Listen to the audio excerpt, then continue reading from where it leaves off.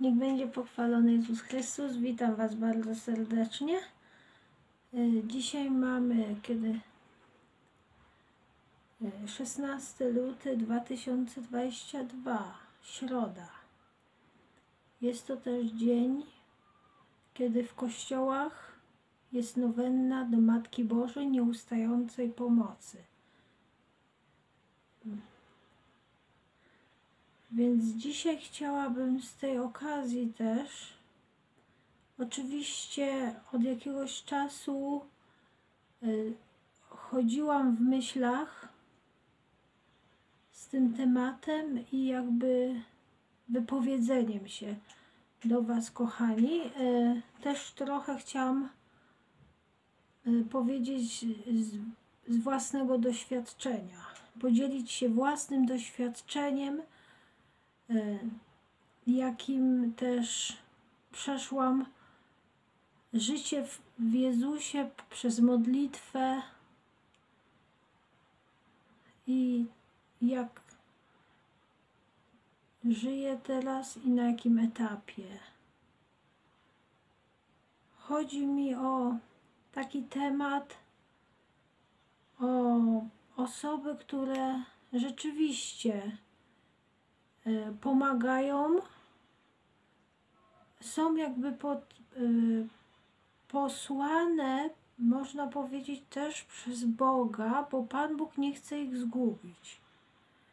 I na pewno wielu z Was ma to, że jest to bardzo ciekawe. Też długo się nad tym zastanawiałam, że jak często modlimy się my, właśnie chrześcijanie w Chrystusie, do Boga, to Pan Bóg y, posyła takie osoby niby wierzące, ale jednak żyjące też w grzechu. Ale jednak z jednej strony żyją w grzechu, a z drugiej strony ciekawa sprawa, że Pan Bóg się nimi posługuje. Można powiedzieć, posługuje się, żeby jednak y, ich nie stracić myślę, że pomaga, żeby służyły pomocą tym e, właśnie uboższym. Ale jest to też w jakiś sposób ich zasługa, ale wie, on, te osoby jakby jeszcze nie widzą tego, bo trwają e, w grzechu, ale jednak pomagają. Są dobrymi osobami, ale i dlaczego Pan Bóg mi, nam ich przysyła po to, aby przez nie, tylko, nie tyle, że właściwie nam pomagają, ale żebyśmy ich jeszcze bardziej brali do modlitwy i ofiarowywali nasze cierpienia, nasze cierpienia, żeby, żeby jednak Pan Bóg kiedyś y, i u nich w życiu był owoc tego dobra, nie tyle przez co oni pomagają, ale też, żeby zastanowili się nad swoim życiem, że, czy żyją dobrze, że może za.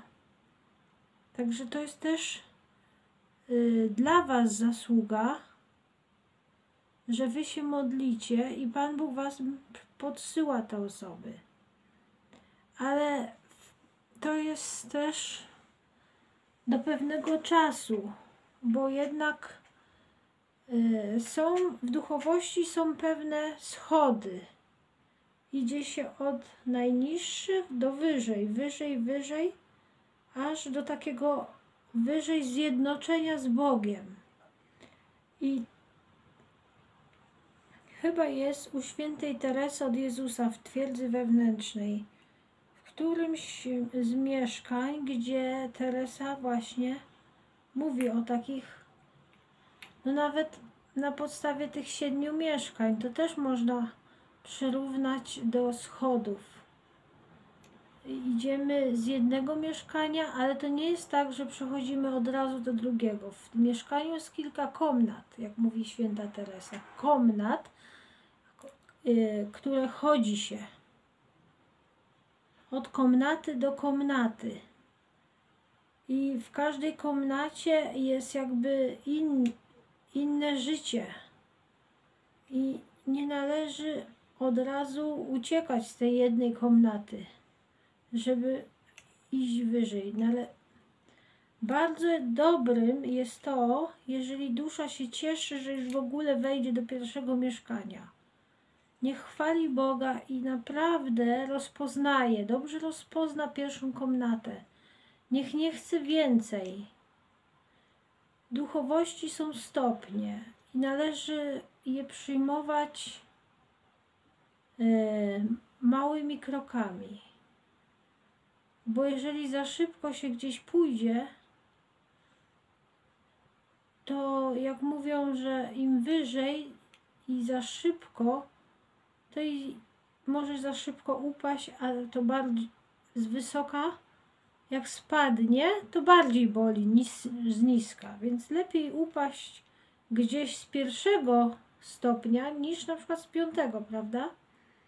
Więc nie spieszyć się za szybko, żeby wejść w górę. Nie spieszyć się. Stopniowo, stopniowo i powoli. Niech Duch Święty działa.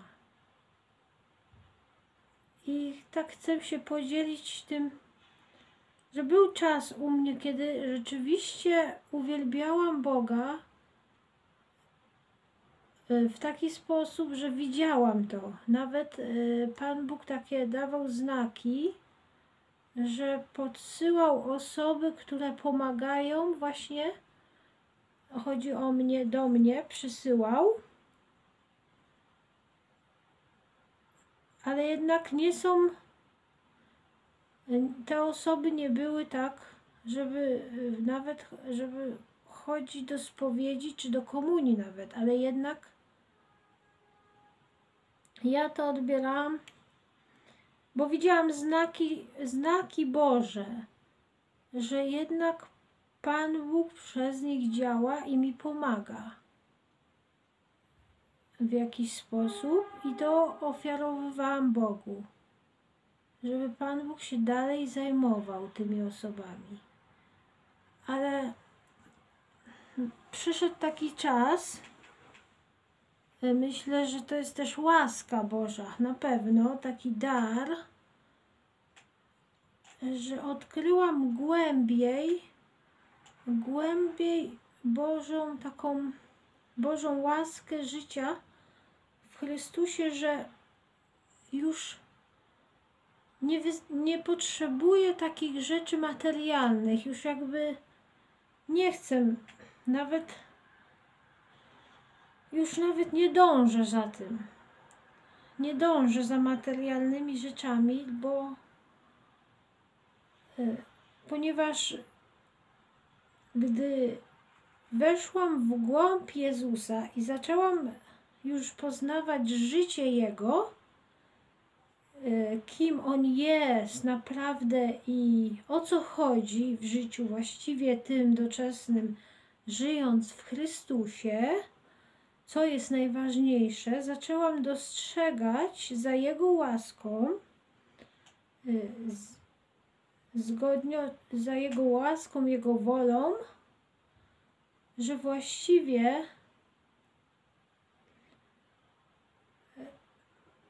o, na podstawie tych osób, co mi kiedyś pomagały i niby Pan Bóg przez nich działał, już e, odważnie powiedziałam tak do tych nawet tym osobom dość. Ja nie chcę już. E, nawet nie chcę pomocy od tych osób. Dlatego, że zrozumiałam, że przyjmując pomoc od tych osób, a on, te osoby nic w tym kierunku nie robią, ja też oczekiwałam, jakby w taki sposób, żeby te osoby też nawet prosiłam, żeby chociaż ze spowiedzi skorzystały, chociaż my, niektóre miały możliwość. Ale skoro skoro nie chcą, są jednak jak kamień, głową muru nie przebijesz. E, Jak jest w Ewangelii powiedziane, Pan Jezus powiedział, jeżeli oczywiście mamy na pewno, większość z nas ma takie osoby, żeby najpierw sam idź upomnij brata, jeśli ci nie posłucha, idź donieść jeszcze komuś. Jak nie usłucha, to idź donieść kościołowi.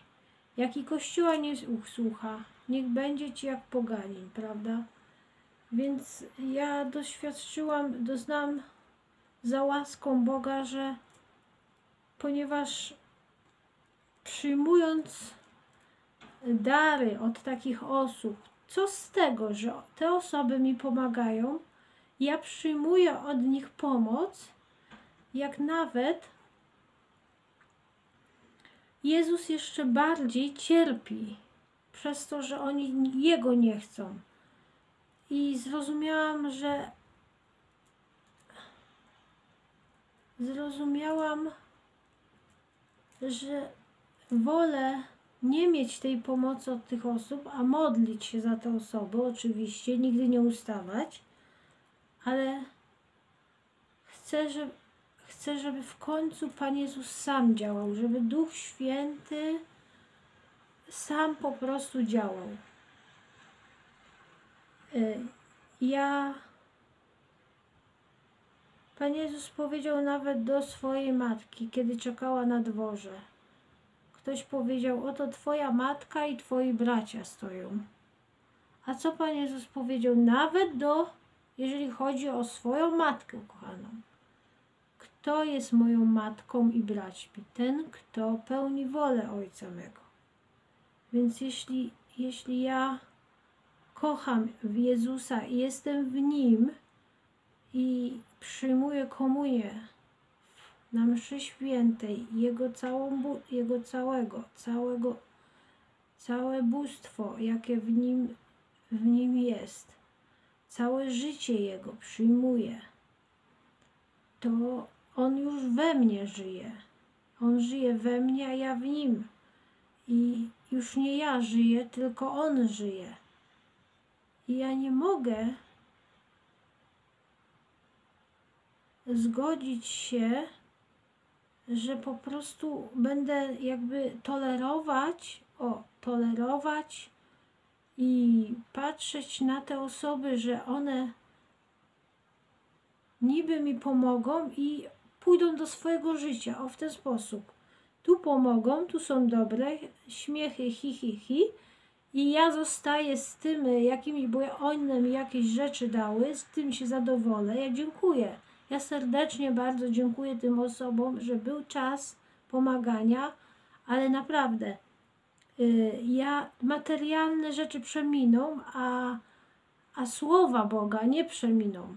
Słowo jest ważniejsze i życie duszy z tym, co pójdę i do wieczności jest ważniejsze niż to, z czym, bo to, co na ziemi otrzymam od tych osób, to zostawię.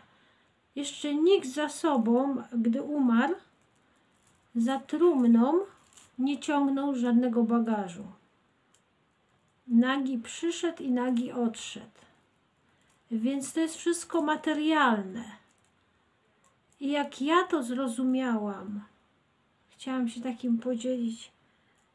I na pewno to jest łaska Boża, bo sama z siebie ja nic nie wiem i nic nie rozumiem. Tylko dzięki łasce, której Pan Bóg daje, zaczynam e, iść wyżej. Tylko łaska Boża może sprawić, że będę więcej rozumieć Jezusa i go bronić ze wszystkich sił i rozumieć Jego drogę i co w życiu jest najważniejsze. Na pewno doszłam do takiego pewnego etapu, że nie pozwolę, żeby już na to, żeby osoby, które Pan Bóg je kocha i też na pewno prowadzi, ale Pan Bóg jest duchem. On też na siłę nie będzie wchodził, jeżeli człowiek ma wolną wolę, powie nie Bogu. On nie będzie. On po prostu cierpliwie może czekać na krzyżu. I czekać, aż ta dusza zrozumie. Na pewno, jeżeli o czym chcę powiedzieć, po prostu ja już z takimi osobami je, jestem na takim etapie, że nie utrzymuję już kontaktu.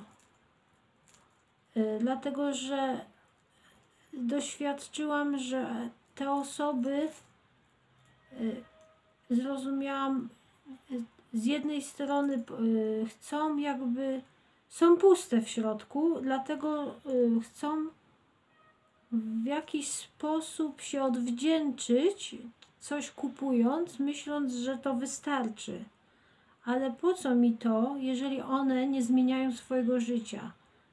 Jeżeli ja się staję coraz bardziej życiem Jezusa duchowym, to ja, ja naprawdę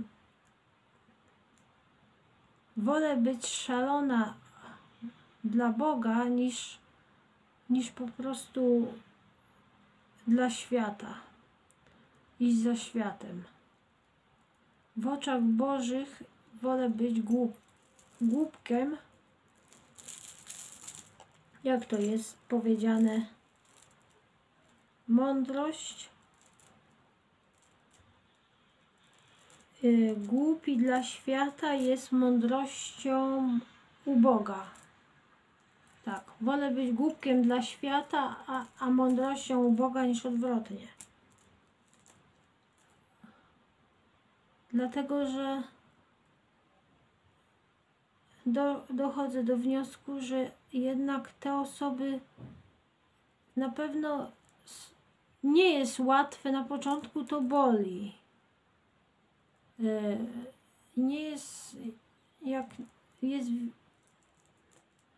wiele osób też uważa, że to nie jest takie łatwe odwiązać się, odciąć się oczywiście, ale jeżeli się ofiaruje Bogu i, i najpierw się dobrze w Nim zatopi, w Jego miłości, e, to Jezus sam, sam od środka pcha, idź naprzód. Idź naprzód, ja Ci pomogę, nie poddawaj się, idź, ciągnie Cię, pcha, masz iść. Masz iść pod prąd. To jest silniejsze. Jak już, jak już powiedziałam w ostatnim filmiku, życie duchowe jest walką. Zazwyczaj dzień zaczyna się walką i dzień kończy się walką. To nie jest droga. Jezus nie obiecał prostej drogi. Jezus powiedział w Ewangelii: Nie przyszedłem nie przyniosłem pokoju, tylko ogień. Jakże pragnę, aby on już zapłonął. Ogień to będą różne poróżnienia. Jak mówi Ewangelia, poróżnić ojciec z córką, matka z córką, brat z siostrą, prawda? Ale jeżeli ty znasz Jezusa i go kochasz, jest poznałeś, poznałeś Jezusa i Go kochasz, to będziesz wiedzieć za kim iść i co jest silniejsze i nie poddasz się. I nawet z miłości do Jezusa będziesz w stanie zrezygnować tylko dlatego z pomocy osób, które niby ci przysyłają, bo te osoby są dobre. W jaki sposób Pan Bóg nie chce ich zgubić, na pewno żadnej z, z duszy, ale one pomagając, na początku jest takie wrażenie, widzisz, że to Bo Pan Bóg pomaga przez te osoby. yy, nawet są, daje ci różne znaki na pewno, że pomaga, ale w pewnym to jest jeden etap. za które dziękuj, że masz takie osoby, ale jeżeli pójdziesz wyżej, Pan Jezus y, za łaską Twoją poprowadzi Cię wyżej, to już nie będziesz, będziesz patrzeć oczami wiary, oczami Boga. Będziesz widzieć więcej, będziesz zauważysz, że właściwie to, co teraz otrzymujesz od tych osób, że tobie już jest niepotrzebne. Że właściwie chciałabyś, będziesz się męczyć. Że, że będziesz chciała, żeby jednak te osoby ci pomagały, też, też szły za wiarą i zmieniały swoje życie. I ja zrozumiałam na ten temat, że ponieważ nic w tym kierunku się nie robiło, to dość powiedziałam. Wolę od tych osób nie otrzymywać nawet pomocy, ale skoro nie chcą Jezusa, to też niech nie, niech nie, nie, nie udzielają mi żadnej pomocy bo jeżeli nie chcą Jezusa, to ja nie chcę też jakby z nimi mieć kontaktu. Ja chcę. A Jezus, jeżeli dobrze wie, jeżeli idziesz za nim w prawdzie, trzymasz się Ewangelii i będzie w pewnym momencie ci da takie osoby, które idą za nim i nie będziesz czuł się samotny, samotna da ci przyjaciół prawdziwych Jemu. Po co takie osoby, skoro niby coś ci dadzą, a jednak z drugiej strony żyją w grzechu, ranią go. I moje, mnie to zaczęło w pewnym momencie boleć. Y, i powiedziałam dość. Wolę biedniej żyć, nie mieć, ale być i żyć w Chrystusie. Iść za Nim i trzymać się Jego nauki, Jego woli, tak jak i nie chcę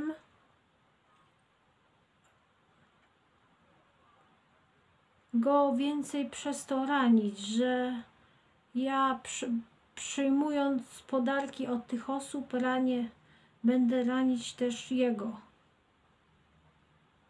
Jeżeli te osoby nie chcą po prostu żyć, jakie ciekawe też mam doświadczenie, że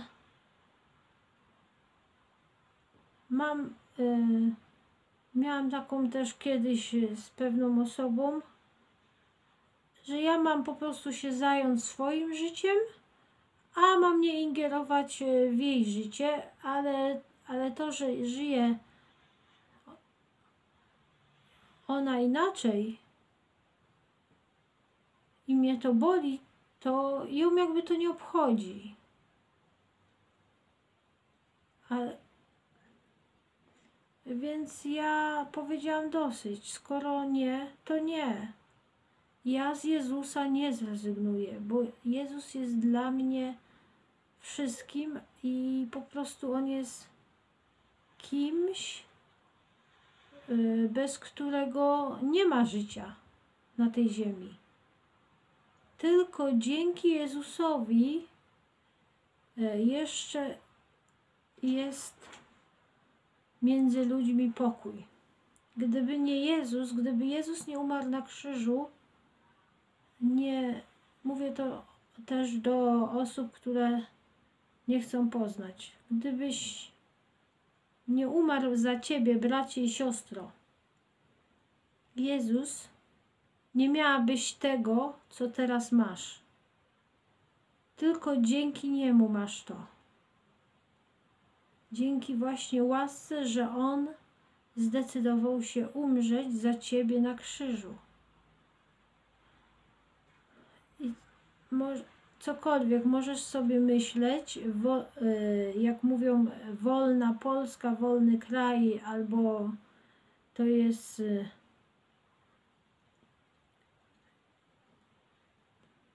wol, y, jak mówią teraz ci, co, że to jest, zajdą w ciążę i to jest mój brzuch i ja decyduję. Nie, to nie ty decydujesz. Dziecko, dziecko jest darem Boga i od Boga. Y, Dlatego tak na koniec w duchowości są etapy. Nigdy nie przyspieszaj y, za szybko, żebyś nie za szybko nie upadł, upadła. Po prostu trzeba cierpliwości. On cię sam przeprowadzi. Jest czas tego pomagania przez takie osoby i Panie, tylko Bóg wie, kiedy tą duszę dać o stopień wyżej, żeby jej ok- pokazać jeszcze inne życie. To jest wszystko po to, żebyś dawała świadectwo. Świadectwo innym, a wiesz, i nie bój się pójść dalej. Nie bój się pójść dalej. Z Jezusem w głąb siebie. Daj się prowadzić, bądź otwarta na Ducha Świętego. Módl się do Matki Bożej. Ona jest oblubienicą Ducha Świętego. Ona cię tak przeprowadzi. Maryja prowadzi do syna, a syn do Maryi.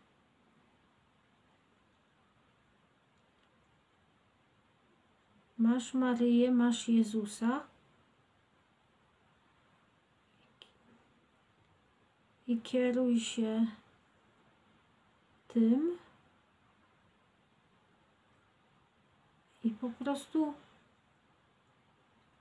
Pan Jezus każdego z osobna inaczej prowadzi. Dlatego najtrudniejsze dla tych osób jest, jeżeli mówią, że to jest trudne oderwanie się, oderwanie się od takich osób, które niby pomagają, a żyją w grzechu, to tylko dlatego, że te osoby wciąż jeszcze są jedną nogą na świecie, chcą być drugą nogą w niebie.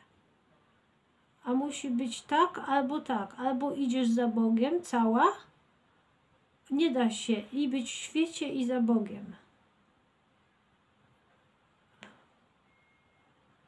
Pan Jezus powiedział wyraźnie: Zostaw ojca, matkę, a dostaniesz stokroć więcej. Nie powiedział, że nie kochaj, tylko masz pójść cała za nim. Masz kochać matkę, ojca, a z drugiej, a z drugiej strony też mówi ciekawie, że kto, nienawi- kto kocha ojca, matkę bardziej niż mnie, nie jest mnie godzień. Dlatego albo kochasz całym sercem na pierwszym miejscu Jezusa i idziesz cała za Nim i dasz się Jemu prowadzić, zostawić e, świat dla Królestwa Bożego, bo nie ma tu życia na ziemi. Każdy musi umrzeć. Dopiero tam jest życie wieczne, więc po co po co te wszystkie materialne rzeczy? Wielu świętych dawnych pouciekali na pustynię tylko po to, żeby po prostu po co? Żyć dla Boga. Bo na pustyni, co znaczy pustynia? Pustynię możesz nawet tu zrobić. Żyjąc w swoim domu, w swoim sercu, mieć pustynię. Pustynia to wyciszenie się, dar i nasłuchiwanie się, żeby Duch Święty mówił Ci. To jest pustynia serca.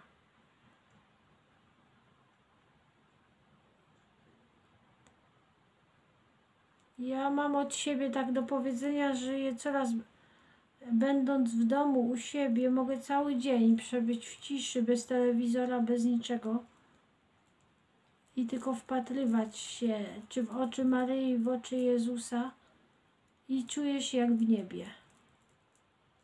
Po prostu nic mi nie potrzeba. Bo spojrzę w oczy Maryi i wiem, że ona, to wszystko od nich zależy. Wszystko i tak od nich zależy. Nie, nic bez nich się nie może stać. Więc po co zabiegać o cokolwiek? A no, i dlatego chwała Panu, że Pan Bóg dał mi wolność i uwolnił od takich osób, które nie chcą Go znać. Nie chcą iść Jego drogą. I, ja powiedziałam, ja nie chcę od takich osób pomocy. Ja nie potrzebuję bo doszło do mnie, doszło do mnie tak, łaska Boża, zrozumiałam, że ja tym, otrzymując pomoc, przyjmując takie osoby, nawet kontakt, ranię też Jego Jezusa, ranię samego Jezusa. Bo jakby, tak jakbym mówiła, że ja toleruję też te osoby. I oczywiście wolę się w ciszy y, nie spotykać, nie otrzymywać pomocy, ale wolę się modlić za te osoby. O wiele więcej zyskasz, masz pokoju. Rzeczy materialne nie dadzą ci szczęścia na tej ziemi. Jeszcze raz Mówię o tak od siebie. Jest czas też w duchowości ogołocenie. To jest niesamowita sprawa, o, jakim jest ogołocenie. Jak Pan Bóg ogałaca przepięknie. A jak ogałaca, zaczniesz doświadczać ogołacania, i wtedy przez te ogołacanie zaczniesz się do niego zbliżać, to jest dopiero przygoda niesamowita. Nie z tej ziemi, jak Pan Bóg może cię przyjść i przytulić, że ziemia się nad tobą zatrzęsie. To, jak przytula Pan Bóg, to jest już inna bajka, inna sprawa. Nie bajka, tylko to jest prawda. Źle się wyraziłam. To jest życie z Jezusem mogę tak od siebie dodać jest wielką, wielką przygodą, wielką też zabawą.